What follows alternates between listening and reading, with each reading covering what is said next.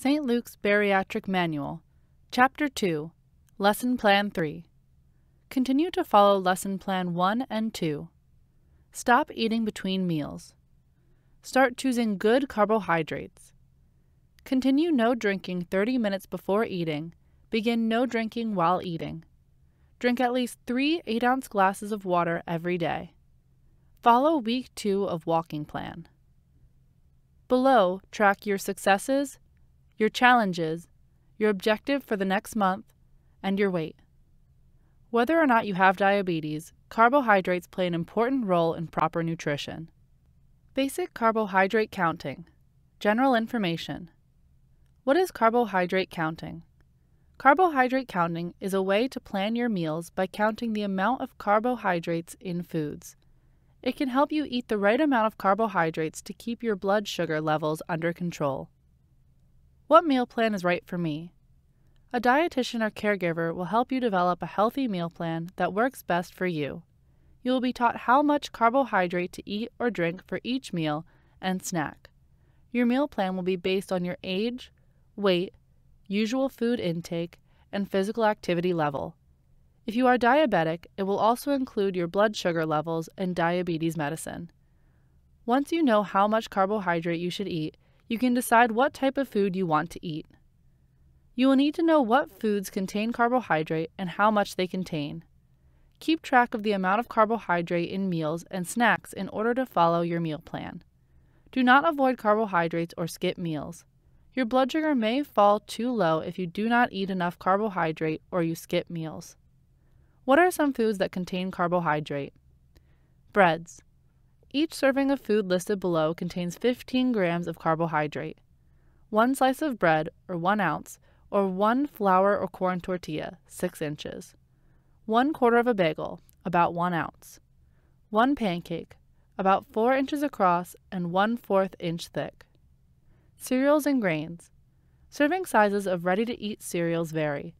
Look at the serving size and the total carbohydrate amount listed on the food label. Each serving of food listed below contains 15 grams of carbohydrate. 3 fourths cup dry, unsweetened, ready to eat cereal, or 1 4th cup of low fat granola. 1 half cup of cooked cereal or oatmeal. 1 3rd cup of cooked rice or pasta. Starchy vegetables. Each serving of food listed below contains 15 grams of carbohydrate. 1 half cup of corn, green peas, sweet potatoes, or mashed potatoes. 1 fourth of a large baked potato. 1 cup of winter squash, acorn or pumpkin. Beans, peas, or lentils. Each serving of food listed below contains 15 grams of carbohydrate. 1 half cup of beans and peas, garbanzo, pinto, kidney, white, split, black eyed, 2 third cup of lima beans, 1 half cup of lentils. Crackers and snacks. Each serving of food listed below contains 15 grams of carbohydrate. 3 graham cracker squares or 8 animal crackers. 6 saltine type crackers. 3 cups of popcorn or 3 4th ounce of pretzels. Fruit. Each serving of food listed below contains 15 grams of carbohydrate. 1 small 4 ounce piece of fresh fruit. 1 half cup of canned fruit packed in natural juice or 1 half cup of fresh fruit. 1 half cup 4 ounces of unsweetened fruit juice. 1 4th cup of dried fruit. Desserts or sugary foods. Each serving of food listed below contains 15 grams of carbohydrate. 1 unfrosted brownie, 2 inch square. 2 small cookies. 1 half cup of sugar free, fat free ice cream. Milk and yogurt. Foods from the milk group contain 12 grams of carbohydrate per serving. 1 cup of milk. 3 fourths cup of plain, non fat yogurt. 1 cup of fat free, flavored yogurt with artificial sweetener. Non starchy vegetables. Each serving contains 5 grams of carbohydrate. 1 half cup of cooked vegetables or 1 cup of raw vegetables. This includes beets, broccoli, cabbage, cauliflower, cucumber, mushrooms, tomatoes, and zucchini. 1 half cup of vegetable juice. How do I use carbohydrate counting to plan meals? Count carbohydrate amounts using serving sizes. Learn to visualize serving sizes by measuring your foods with measuring cups, measuring spoons, and a scale. A serving of carbohydrate counts as 15 grams of carbohydrate. Round up to the amount of the carbohydrate in milk to 15 grams to make counting easier. Count the carbohydrates in non starchy vegetables only if you eat three servings per meal. Three servings of non starchy vegetables are equal to 15 grams.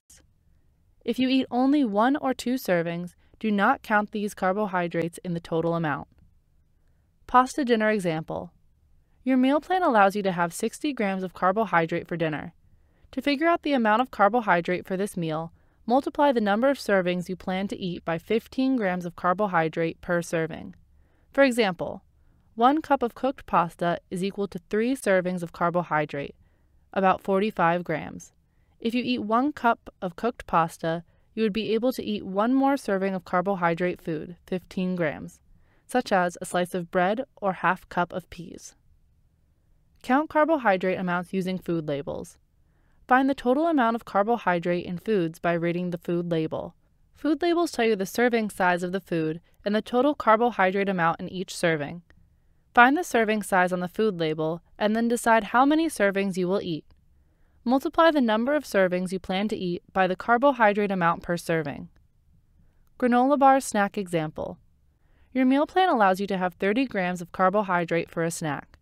To figure out the amount of carbohydrate for this snack, multiply the number of servings by the total carbohydrate amount listed on the food label.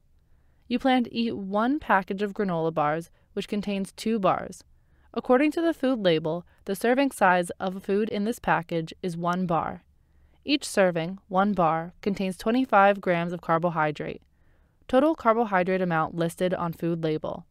The total amount of carbohydrate in this package of the granola bars would be 50 grams. Based on your meal plan, you should eat only one bar. When should I contact my caregiver? Contact your caregiver if you have questions about your diet. You have high blood sugar levels during a certain time of the day or almost all the time. You often have low blood sugar levels. Target heart rate. How do you get your heart rate on target? When you work out, are you doing too much or not enough? There's a simple way to know. Your target heart rate helps you hit the bullseye. We don't want people to overexercise, and the other extreme is not getting enough exercise, says Gerald Fletcher, MD, a cardiologist and professor in the Mayo Clinic College of Medicine in Jacksonville, Florida. First things first. Before you learn how to calculate and monitor your target training heart rate, you have to know your resting heart rate. Your resting heart rate is the number of times your heart beats per minute while it's at rest. You can check it in the morning after you've had a good night's sleep and before you get out of bed. According to the National Institute of Health, the average resting heart rate for children 10 years and older and adults, including seniors, is 60 to 100 beats per minute. For well trained athletes, it's 40 to 60 beats per minute hitting the target. Now you're ready to determine your target training heart rate. As you exercise periodically, take your pulse on the inside of your wrist, on the thumb side. Use the tips of your first two fingers, not your thumb, to press lightly over the blood vessel on your wrist. Count your pulse for 10 seconds and multiply by 6 to find your beats per minute. You want to stay between 50% to 85% of your maximum heart rate. This range is your target heart rate. Know your numbers. This table shows estimated target heart rates for different ages. Your maximum heart rate is about 220 minus your age. In the age category closest to yours, read across to find your target heart rate. Heart rate during moderately intense activities is about 50 to 69% of your maximum heart rate, whereas heart rate during hard physical activity is about 70% to less than 90% of the maximum heart rate. The figures are averages, so use them as a general guideline. Age 20 years. Target heart rate zone 50 to 85%, 100 to 170 beats per minute.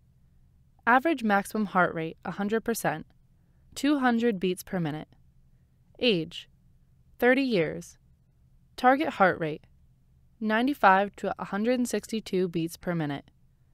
Average maximum heart rate 190 beats per minute. 35 years. Target heart rate 93 to 157 beats per minute. Average maximum heart rate 185 beats per minute. Age 40 years. Target heart rate 90 to 153 beats per minute. Average maximum heart rate 180 beats per minute. Age 45 years. Target heart rate 88 to 149 beats per minute. Average maximum heart rate 100%, 175 beats per minute. Age 50 years. Target heart rate 85 to 145 beats per minute. Average maximum heart rate 170 beats per minute. Age 55 years. Target heart rate zone 83 to 140 beats per minute. Average maximum heart rate 165 beats per minute. Age 60 years. Target heart rate zone 80 to 136 beats per minute. Average maximum heart rate 160 beats per minute. Age 65 years. Target heart rate 78 to 132 beats per minute. Average maximum heart rate 155 beats per minute. Age 70. Target heart rate zone 75 to 128 beats per minute. Average maximum heart rate 150 beats per minute. Important note a few high blood pressure medications lower the maximum heart rate and thus the target zone rate. If you are taking such medication, call your physician to find out if you need to use a lower target heart rate. So, what's in a number? If your heart rate is too high, you're straining, so slow down. If it's too low and the intensity feels light or moderate brisk, you may want to push yourself to exercise a little harder. During the first few weeks of working out, aim for the lower range of your target zone, 50%, and gradually build up to the higher range, 85%. After six months or more, you may be able to exercise comfortably at up to 85% of your maximum heart rate. It's not an absolute, but it's a good tool to have, says Fletcher, who is also an American Heart Association volunteer. And if you don't know it, remember, if you're not able to carry on a conversation while exercising, that may be a bit too much. If you have a heart condition or you're in a cardiac rehab, talk to a healthcare professional about what exercises you can engage in, what your target heart rate should be, and whether you need to be monitored during physical activity. This will also help you to choose the types of physical activity that are appropriate for your current fitness level and health goals, because some activities are safer than others. Chapter 6 Going Home How to care for your wound after it is treated with Dermabond Advanced Topical Skin Adhesive. Dermabond Advanced Adhesive is a sterile, liquid skin adhesive that holds wound edges together. The film will usually remain in place for 5 to 10 days then naturally fall off your skin. The following will answer some of your questions and provide instructions for proper care for your wound while it is healing. Check wound appearance. Some swelling, redness, and pain are common with all wounds and will normally go away as the wound heals. If swelling, redness, or pain increases, or if the wound feels warm to touch, contact a doctor. Also, contact a doctor if the wound edges reopen or separate. Caring for bandages. If your wound is bandaged, keep the bandage dry. When changing the dressing, do not place tape directly over Dermabond Advanced Adhesive because removing the tape later may also remove the film. Avoid topical medications. Do not apply liquid or ointment medications or any other product to your wound while the Dermabond Advanced Adhesive is in place. These may loosen the film before your wound is healed. Keep wound dry and protected. Apply a clean, dry bandage over the wound if necessary to protect it. You may occasionally and briefly wet your wound in the shower or bath. Do not soak or scrub your wound. Do not swim and avoid periods of heavy perspiration until the Dermabond advanced adhesive has naturally fallen off. After showering or bathing, gently blot your wound dry with a soft towel. If a protective dressing is being used, apply a fresh, dry bandage, keeping the tape off the Dermabond advanced adhesive. Protect your wound from injury until the skin has sufficient time to heal. Do not scratch, rub, or pick at Dermabond Advanced Adhesive. This may loosen the film before your wound is healed. Protect the wound from prolonged exposure to sunlight or tanning lamps while the film is in place. If you have any questions or concerns about this product, please consult your doctor. Possible complications and side effects of bariatric surgery. The first several of the complications listed below can occur with any operation. Deep vein thrombosis, DVT, a blood clot that usually occurs in the lower leg. What are the signs and symptoms? Cramping, swelling, pain, warmth, and or redness in the calf or behind the knee. What should I do? Call the doctor. How do I prevent this from happening? Get up and get moving as soon as possible. Keep the compression boots on your legs while in bed or chair during your hospital stay. Do not smoke. If you smoke, you are at greater risk. All sleeve gastrectomy patients will be on Lovenox for 14 days post op. Pulmonary embolus or emboli, blood clot that goes to the lungs. What are the signs and symptoms? Sudden shortness of breath or inability to breathe. Shoulder pain. What should I do? Call 911 or go to the nearest emergency room. How do I prevent this from happening? Get up and get moving as soon as possible. Keep the compression boots on your legs while in bed or chair during your hospital stay. Do not smoke. If you smoke, you are at greater risk. All sleeve gastrectomy patients will be on 14 days of Lovenox post op in order to prevent mesenteric blood clots. Pneumonia. What are the signs and symptoms? Shortness of breath, cough, yellow or green mucus with the cough, chest pain, and fever. What should I do? Call the doctor. If shortness of breath is severe, go to the emergency room. How do I prevent this from happening? Get up and moving to expand your lungs. Use your incentive spirometer 10 times per hour while you are awake for one week after your operation. Infection. You may have some normal drainage from your incision. It may be pale yellow to pale pink. Infection would look different than that. What are the symptoms? Change in drainage appearance like thickening, green or yellow in color, and or foul odor. Fever greater than 101 degrees. Increased pain, swelling, warmth, or redness around the incisions. What should I do? Call your doctor. Nausea and vomiting. If you are less than 10 days from your surgery date, call your surgeon. Otherwise, you should make sure you follow the 30 60 minute rule. Chew thoroughly. Eat slowly. Meal should last 20 minutes. Stop eating when full. If you are following all the rules, consider expanding the 30 60 rule to the 60 75. If symptoms improve, follow this new rule for 2 to 3 weeks, then return to the 30 60 rule. If symptoms do not improve, call the office for additional consultation. Small bowel obstruction, an obstruction or blockage caused by surgery connections, anastomosis, Roux-en-Y gastric bypass, and BPD. What are the symptoms? Abdominal pain that will not go away, persistent vomiting or not being able to eat, no or greatly decreased bowel movements or having diarrhea only. What should I do? Call your doctor. If pain is unbearable, go to the emergency room. Dehydration, not getting enough fluids. What are the symptoms? Dark or concentrated urine, dizziness or weakness when you sit or stand up, confusion. How can I prevent this? Drink 48 to 64 ounces of fluid every day. What should I do for dizziness? Change your position slowly. If you take medicine for high blood pressure, check with the doctor who ordered it. If symptoms worsen, call your doctor. Ulcers. You are at higher risk of forming ulcers along the new connections, anastomosis, or staple line. What are the symptoms? Abdominal pain or pain in the lower mid chest area. Vomiting or vomiting blood. Black stools or bowel movements. How can I prevent this? Do not smoke or chew tobacco. Take your antacid medicine as prescribed by your doctor. Stay away from aspirin and NSAIDs, nonsteroidal anti-inflammatory drugs. See list of medications to avoid. What should I do? Call your doctor. If you vomit blood, go to the emergency room. If you are more than a week after surgery and you have tarry black stool, call the surgeon's office. Leak.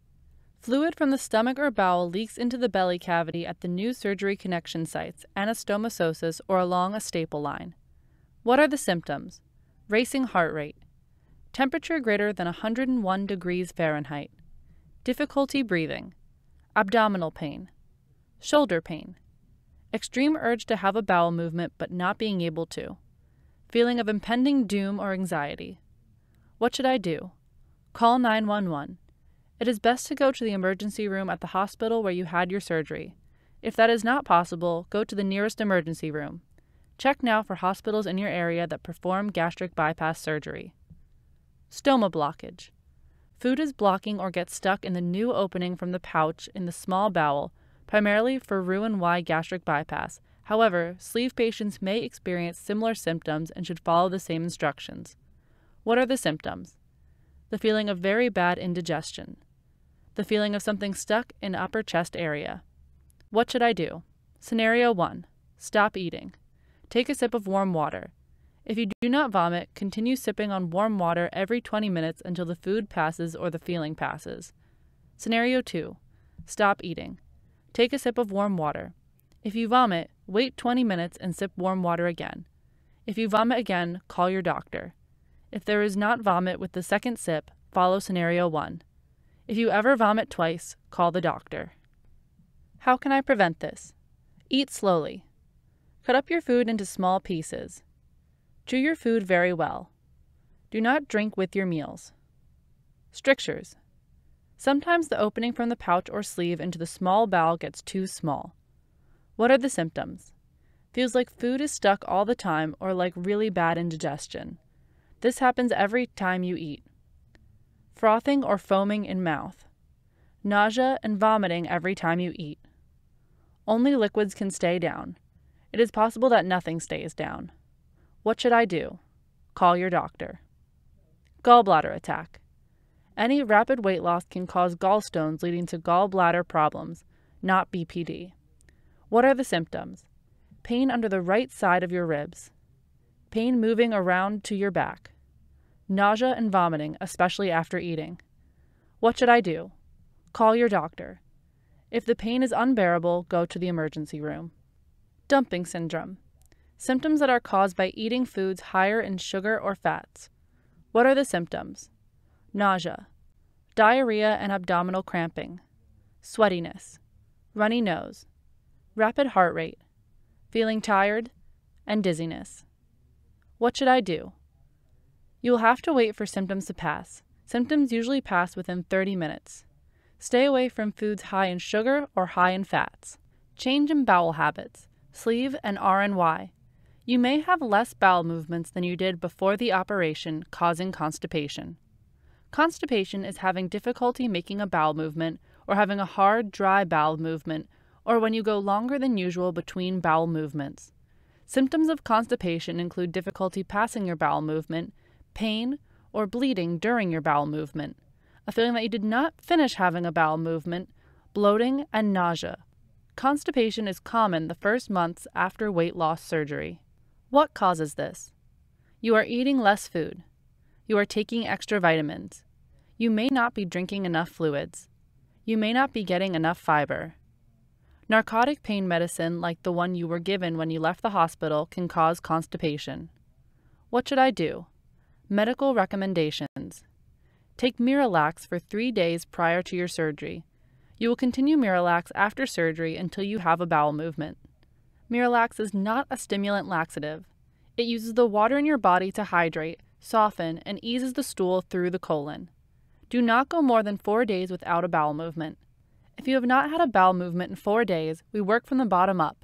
Do the following Glycerin suppository. You may use two times in 24 hours. If this does not work, Dulcolax suppository. You may use two times in 24 hours. If this does not work, warm water enema. Purchase a Fleet saline enema, empty contents and fill with warm water. Follow the package instructions for administration. Once you have had a good bowel movement, take Miralax daily in the evening. If your bowel movements become too loose or too frequent, adjust the use of Miralax to every other day. Oral stimulant laxative. Do not start use until two weeks after your surgery. Your bowels need to heal. Stimulant laxatives can cause dependence and should not be used on a regular basis. Instead, they should only be used to resolve constipation. Examples Bisacodyl, Ex-Lax, Correctol, Smooth Move Tea, etc. Stool softeners. May try a stool softener such as Colace once or twice per day. Dietary recommendations Drink 4 ounces Plum Smart Light or light prune juice. Pureed diet Include 1 4th cup pureed fruit per day or baby food. Prunes, plums, peaches, pears. Avoid bananas and applesauce if you are constipated. Soft diet. Include 1 4th cup fruit per day. Use canned or jarred in light syrup or fruit juice. Rinse off the syrup or fruit juice. Avoid bananas and applesauce. No raw fruit. Fiber. Add fiber to your diet if you had your operation more than two weeks before your symptoms. You can use over the counter gummies or powder. Limit to 5 grams per day. If using fiber, make sure you are drinking extra fluids. Fiber needs the fluids in order to form the bulk. Drink 48 to 64 ounces of fluid every day. Change in bowel habits, BPD. You may have more frequent and or loose bowel movements than you did before the operation. You may have more foul-smelling stool or gas. What causes this? Bypassing a large portion of the small bowel decreases digestion and fluid reabsorption from the stool. Fat malabsorption plays a big part too. What should I do? Avoid higher fat food. Speak to your surgeon. Vitamin deficiencies. Due to the decreased amount of food you are eating and the decreased absorption of some vitamins and minerals, you are at risk of having low vitamin and or mineral levels. What are the symptoms? weakness or tiredness, confusion, tingling or pins and needles feeling in hands or feet, any unusual changes from the normal. What else could happen? If left go too long, vitamin or mineral deficiencies can cause permanent damage. Bones can become weak. What should I do? Take your vitamins and minerals for life. Get your blood test on a regular basis as ordered by your doctor. Call your doctor if you have symptoms so your blood can get checked. Hair thinning. When does this happen and why? Hair thinning usually occurs anywhere from 3 to 9 months after your operation. Hair loss should be temporary. It is caused by a sudden drop in the amount of calories and protein you are eating and the hormone changes caused by rapid weight loss. What should I do? You can shampoo with Nioxin. Take 1,000 milligrams of flaxseed oil daily. Make sure you are getting 60 to 80 grams of protein per day. Take your vitamins and minerals as ordered. Take no more than 600 micrograms biotin per day. Your bariatric multivitamin should be sufficient without adding extra. Too much biotin can alter lab results such as thyroid panel and cardiac enzymes. Take 500 to 550 milligrams L-lysine or keratin or collagen. Large folds of skin. It is possible that you will have sagging skin. How can I prevent this? Take your vitamins and minerals. Eat healthy. Drink 48 to 64 ounces of fluids every day. Exercise. You may not be able to prevent this. Age and genetics may determine how well your skin recovers. Will insurance cover the removal of excess skin? Insurance may cover this. If you get rashes or skin breakdown under the skin folds, take pictures and have your doctor write in your chart about these problems. If excess skin interferes with normal movement or causes back pain, have your doctor write in your chart about these problems. If you wait until you lost all your weight or at least 18 months to 2 years after your operation. Hormonal changes. Hormones are fat loving. When you lose weight, the fat cells release hormones back into your blood. What could happen? Females may become more fertile. Menstrual cycles can become irregular, causing increased risk of pregnancy. You need to prevent pregnancy even if you struggled to get pregnant before you had your operation. It is recommended to not get pregnant for at least two years after surgery. Use two forms of birth control. One form of birth control needs to be a barrier type, such as a condom or diaphragm. Periods or menses could be heavier and longer. If you have already entered menopause, you may have several periods again. Back or hip pain. As you lose weight, you may walk or sit differently due to a change in your center of gravity. What can I do? Exercise to strengthen the muscles of your legs and back. Be aware of your posture. Be patient. This change will eventually stop as your weight loss slows down. St. Luke's Weight Management Patient Follow Up Schedule After Bariatric Surgery. Day 0 Surgery and hospital discharge. Prior to first surgeon post op appointment. Appointment with primary care physician. Day 10 or 11 after surgery date. First post op visit with surgeon and dietitian. Five weeks after surgery. Post op class with dietitian. Three months after surgery. Second post op visit with physician assistant. Lab slip given. Advised to get lab draws before six month visit. Six months after surgery. Third post op visit with physician assistant. Lab slip given. Advised to get lab draws before one year annual visit. Nine months after surgery. 5:30 meeting before support group at all locations. See chapter 9 in your manual. We will take an after photo if you like. 1 year after surgery. First annual visit with physician's assistant. Annually forever. Annual visits. Lab slips are given at the actual visit for all second annual and follow up annual appointments. Lab should be drawn shortly after this visit. Lab slips will not be given in advance of the visits. Social workers and dietitians are available for follow up when needed. Call the office to set up an appointment. My Reminders Bariatric Surgery. Do. Plan for discharge before coming to the hospital. If needed, determine who is going to help you at discharge. Purchase liquids, protein, and vitamins as outlined in sections 3 and 4 of this manual. Purchase measuring cups to measure portion size once you are eating food. Respond to surveys from our department. Schedule your first follow up appointment with the surgeon. Continue to follow annually. Refer to the follow up schedule after bariatric surgery on previous page for time intervals. Quit smoking if you have not already quit. Let your surgeon know if you need help. Get your lab work done when ordered by your surgeon. Come to support group monthly. Take your vitamins and minerals daily. Call the office or bariatric team with any questions. Keep in touch and let us know how you are doing. Join us on Facebook for questions, answers, announcements, and conversation. Search Facebook for St. Luke's Bariatric Patient Forum and request to join. Watch gum chewing. It can cause gas and can block your stoma if swallowed. Download our Baritastic app. Use program code 58531 to connect to our program. Exercise. It is vital for your success. Get a medical alert bracelet. See enclosed information. Take your measurements before surgery and monthly thereafter. Stay committed when you hit plateaus, periods when you do not lose weight. This is your body's normal response to rapid weight loss. You will get over the plateau if you follow the rules. Do not lift more than 5 pounds for the first week after surgery. Gobble food. Eat slowly. Talk while eating. You will get air in your pouch. Drink 30 minutes before, during, or 60 minutes after meals. Drink alcohol. You will have decreased tolerance, which may cause you to become intoxicated easily. Alcohol can cause dumping syndrome and can be dehydrating. Use straws for first six months. Drink carbonated beverages for at least one year.